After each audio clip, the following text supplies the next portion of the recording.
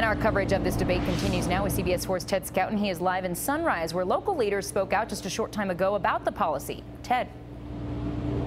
Yeah, Lauren, Congresswoman Debbie Wasserman Schultz calls the policy horrific and an injustice, and she blames the president. I'm here to shine a, a massive spotlight on this issue. Congresswoman Debbie Wasserman Schultz announcing she's heading to the border to see for herself what's going on. She's meeting with local immigration leaders and activists to get more information.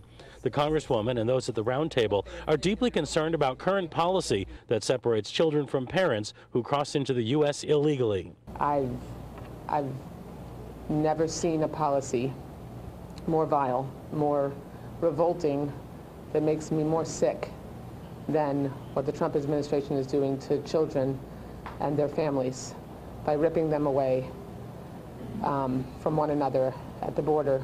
People at the roundtable told the Congresswoman they're concerned that the policy does not go along with U.S. morals and sends a message that the United States is not welcoming to immigrants. They're also concerned of the damage separating children from their parents can do long term. I think that what we're not seeing is the trauma that's being inflicted on that, those children when they're taken away from their parents. That may not be something that's readily apparent, apparent on their faces, but that is going to affect them for the rest of their life.